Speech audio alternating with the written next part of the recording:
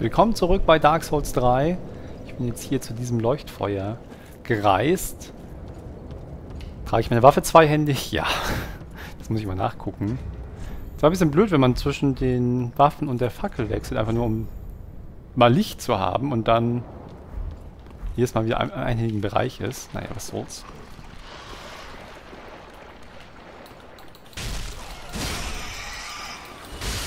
So, die kleinen Rattenbabys hier mal weghauen.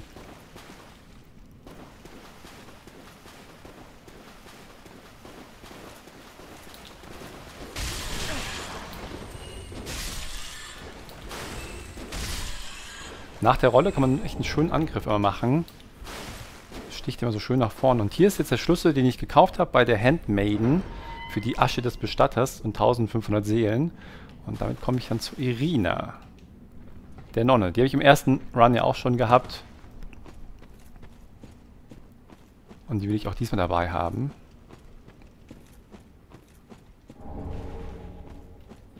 Diesmal können wir hier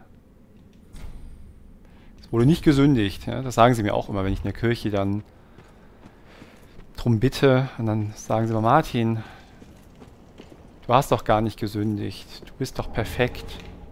Dann sage ich, okay. Und äh, so laufen meine Besuche in der Kirche.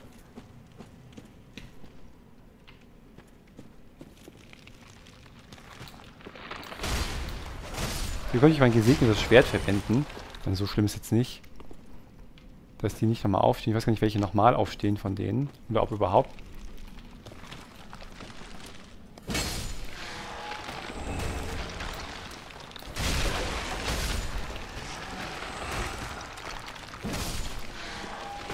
So, geht jetzt irgendwie jemand nochmal auf oder auch nicht. Liegt da schon nicht mehr durch. Vielleicht stehen die auch alle nacheinander auf. Man kann die ja auch nicht auseinanderhalten. Die, diese Skelett-Heinz, die sehen irgendwie alle gleich aus. Jetzt mal ganz kurz gucken, dass ich hier keine Abzweigung übersehe. Jetzt hier kam ich rein. Hier ist ja so ein bisschen Neblitsch.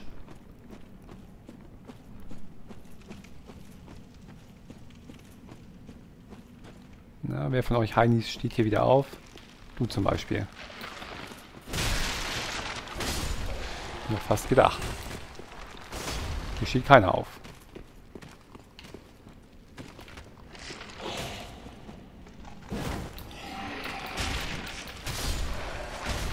wächst schon ein Baum aus deinem Gesicht. Das ist nicht gesund. Der sollte mal lieber liegen bleiben. Wenn man sich nicht gut fühlt, einfach mal liegen bleiben. Hab ich jetzt Irina übersehen? Ich glaube ja, oder? Die ist doch hier irgendwo. Wo habe ich die denn jetzt übersehen? Das Mädel, das ist die hinter einer versteckten Wand. Wo habe ich sie übersehen? Die ist ja auch blind. Ist sie nicht ganz am Anfang eigentlich? Ich dachte auch, dass sie ganz am Anfang wäre, aber die Statue da. Hier habe ich doch irgendwo was verpennt.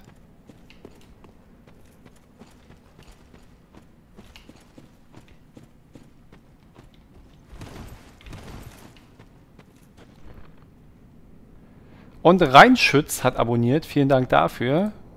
Für äh, dein Abo. Ich hoffe, du hast viel Spaß an meinem Stream auch weiterhin und auf lange Zeit. Das wäre schön.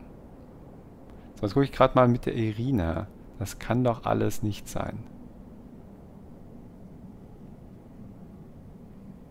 So, ganz kurz gucken. Irina. Warum finde ich die jetzt nicht?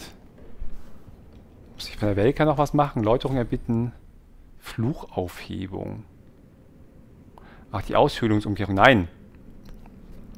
Das will ich auf keinen Fall. Das ist ja alles... Puh. Da ist mir versaut. Ich habe die jetzt irgendwo übersehen.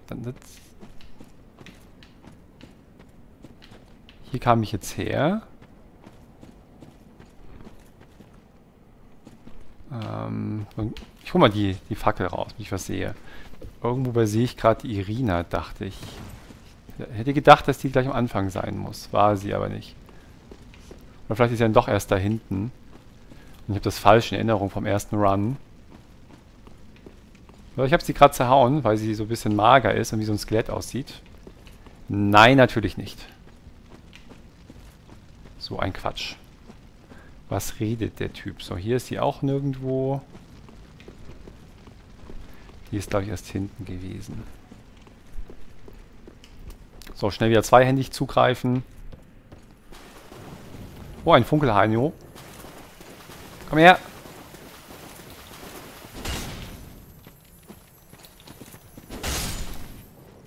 Wollte abhauen, ein schwerer Edelstein. Ah! Boah, hat er mich erschreckt. Ich hab noch ich dachte, irgendwo muss da was sein. Steht ja plötzlich mitten im Bild und macht auch noch so einen Lärm. Mann. Kann er nicht mit mir machen. War das nicht gut fürs Herz. Das war wieder... Das war wieder ein, weiß ich nicht, ein halbes Jahr Lebenszeit, die mir da gestohlen wurde.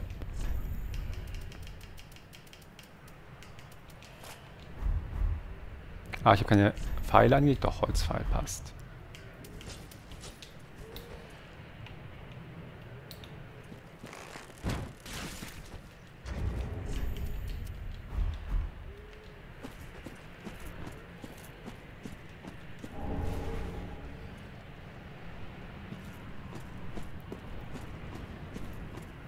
So, hier ist nix. Mighty Duck meint, er schaut gerade noch das Let's Play auf YouTube und es wäre cool, wenn ich das versteckte Drachengebiet finde. Das habe ich in dem Let's Play auch noch gefunden, also keine Sorge. Das kommt dann schon noch. Einfach ein bisschen warten. Das Let's Play einfach auf YouTube weiterschauen und dann wird das schon auch noch stattfinden. Und das ist natürlich ein extrem cooles Gebiet, das stimmt schon. Eine haben wir noch.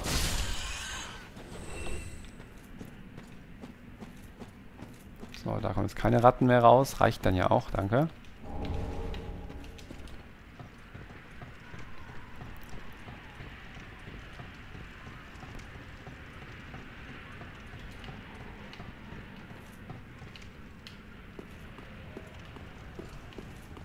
Ah, und da ist Irina.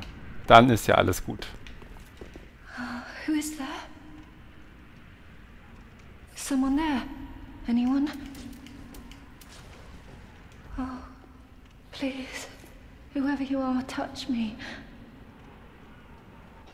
Surrounds me, nibbles at my flesh. Little creatures, they never stop biting. So please, hold out your hand and touch me.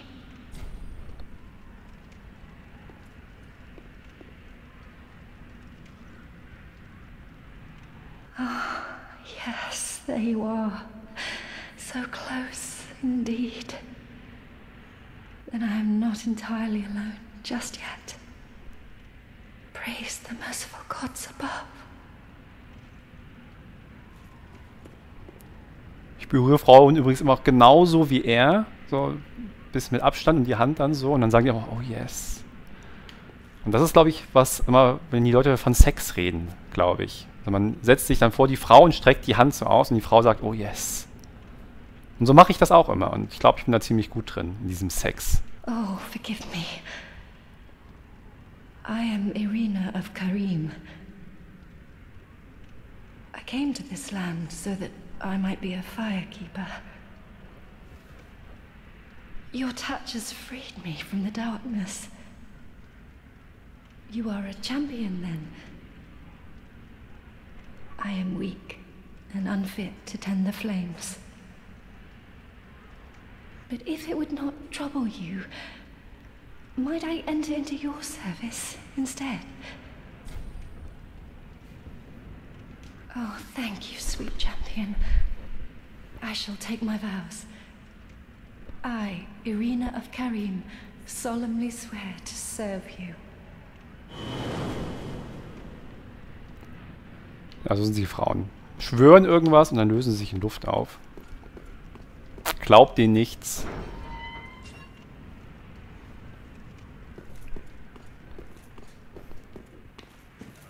Und jetzt kann man nochmal noch mal mit ihm reden, oder erzählt er das Gleiche? You've gone and rescued her, have you? Ach das. How very quaint. Pitying creatures that are beyond help.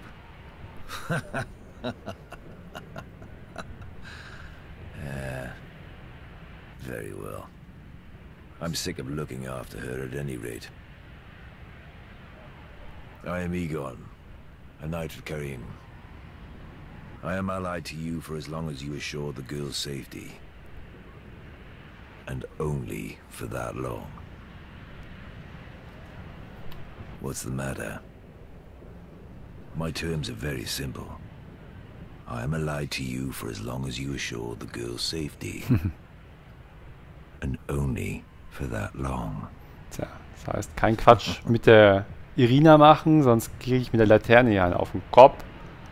Das ähm, muss man ein bisschen aufpassen. Das soll ja nicht sein. Nun gut, jetzt gucke ich gerade mal. Dann geht es jetzt hier weiter. Das kann ich auch zu Fuß gehen. Müssen wir gar nicht mehr reisen. Dann sieht man auch mal, wie es alles verbunden ist. Müssen wir nicht mehr das Bonfire nehmen. Ich glaube, das fährt jetzt aber nach oben, oder? Ne, fährt nach unten. Genau in die richtige Richtung. Zur Road of Sacrifices. Straße der Kreuzigung.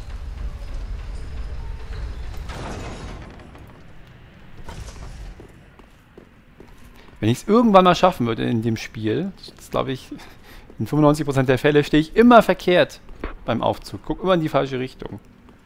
Können sie irgendwann so Pfeile anbringen. Ich gucke erstmal immer in die falsche und dann, dann geht es irgendwann. Aber jedes Mal. Das muss da nicht sein. So, Road of Sacrifices. Und da haben wir dann auch eine nette Begegnung, die extrem wichtig wird. Aber das müsste doch schon hier sein jetzt, oder? Ne, ist noch doch noch nicht hier. Stimmt, das ist erst später. Ich verspreche mir zu viel, ist an einer anderen Stelle.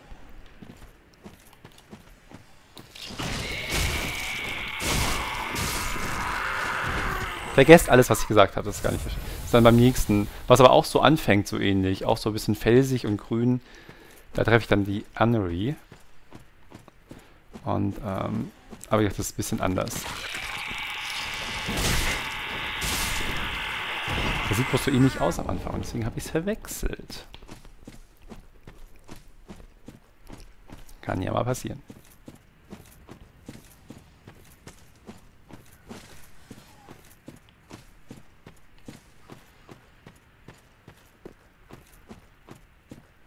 Kennen wir aber ansonsten ja auch noch. Hier gibt es ja auch einige Sachen. Ich bin jetzt auch, aus, aus, aus dem Kopf weiß ich dann auch nicht mehr immer alles, was wo war, weil es gibt dann schon ein paar Sachen, die man dann äh, erledigen möchte. Man kann ja hier runterspringen. So, jetzt vielleicht nicht gerade hier, wo es dann doch eher weh tut, aber es gibt ja ein paar Stellen. Da unten gibt es ja auch noch ein bisschen was. Da hinten sieht man es auch schon. Ich werde, glaube ich, nicht jedes Gebiet komplett im New Game Plus ausreizen, sondern nur die Gebiete, die Story, also ich werde manchmal irgendwelche, ich werde größtenteils das schon wahrscheinlich alles machen, aber ich werde manchmal irgendwelche Abzweigungen auslassen, wo dann nur irgendwie wo ich dann schon vorher weiß, da steht eh nur irgendwie ein Hansel, der nicht sonst nichts macht im Spiel. Storymäßig ist halt das, was mir wichtig ist. Das werde ich auf jeden Fall machen. Und ich trage schon wieder nur einhändig. Und die meisten Gebiete schon irgendwie größtenteils. Aber ich werde da nicht jeden Fitze erkunden, wie gesagt. Weil ich das ja schon kenne. Ich bin ja schon äh, Dark Souls Meister LP sozusagen.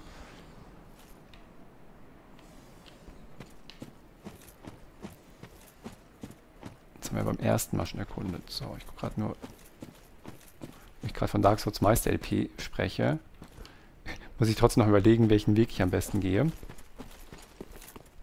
Und dann wir am besten äh, äh, äh, in die Richtung. So.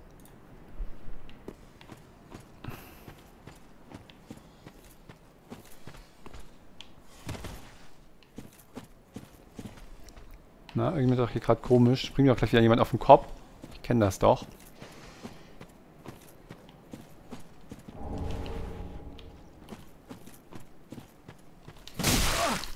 Au!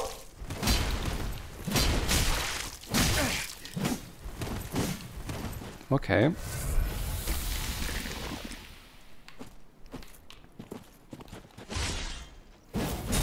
Natürlich habe ich es nicht getroffen. Hat sie mich vor allem fast in den Abgrund geprügelt. Das wäre ein bisschen unangenehm gewesen. Das Schlachtermesser ist auch recht beliebt bei einigen. Das ist eine Waffe, die mir überhaupt nicht gefällt. Also rein optisch schon. Das ist wirklich so Damit kann ich immer nicht viel anfangen. Das muss ja auch schick aussehen. So ein Schlachter ist schon so ein bisschen... Ich weiß ja nicht, für mich ist das nichts.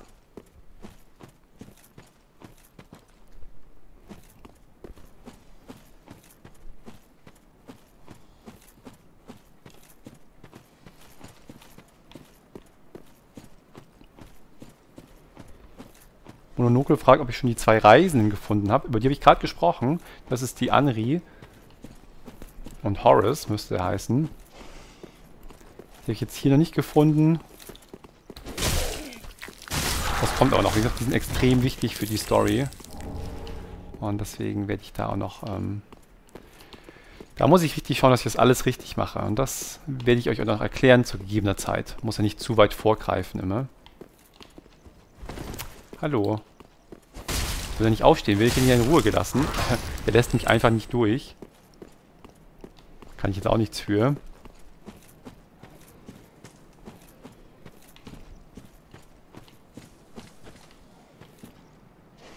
Ich erledige erstmal die hier oben.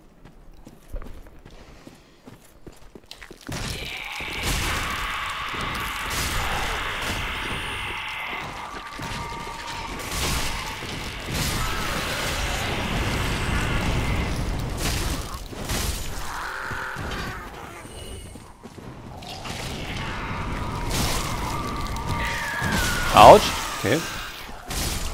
Ich erwarte von denen schon gar keine Gegenwehr, weil die mal ein bisschen brauchen, um wach zu werden. Und dann... Äh, überrascht er mich dann manchmal mit so einer Aktion. Eine Glut. Ich sollte mal auch die Glut immer anmachen, weil es gibt Gebiete, wo das wichtig ist. Tatsächlich. Dass ich die Glut aktiv habe, weil man dann eine Invasion stattfinden kann oder so von NPCs. Das spricht spielt dem ein bisschen entgegen, dass ich ja eigentlich noch sterben muss und will, um die Level von Joel zu bekommen, aber das schaffe ich schon auch noch. Sterben schaffe ich schon noch. Übrigens gut, dass ich jetzt vor diesem komischen Sprung mein, äh, meine Glut benutzt habe, die habe ich beim letzten Mal verkackt beim ersten Mal. Aber diesmal machen wir alles richtig. Glaube ich. Okay.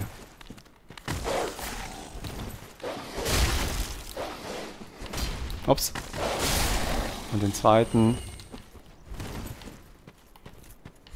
Ö, wo ist denn der hin? Der ist um die Wand geklitscht und gestorben. okay. Jetzt habe ich einen Foliant von Karin, den ich der Nonne geben kann. Morns Ring.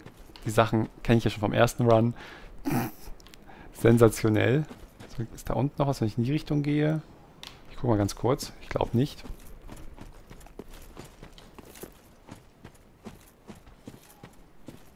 Nein.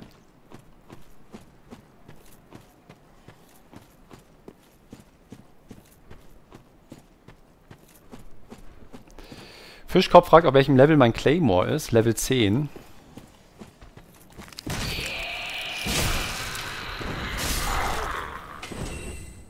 Ist das Claymore? Sonst wäre es ein Clayless. Aber es ist ein Claymore, deswegen ist es schon auf Level 10.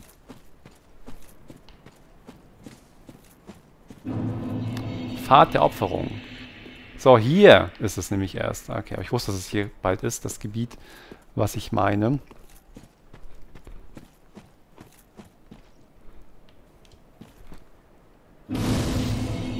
Das entzündet. Und dann habe ich endlich Anri und Horace getroffen mit denen soll es dann ja auch weitergehen. Das ist sehr, sehr wichtig für die Story. Und dann zeige ich mal gleich, was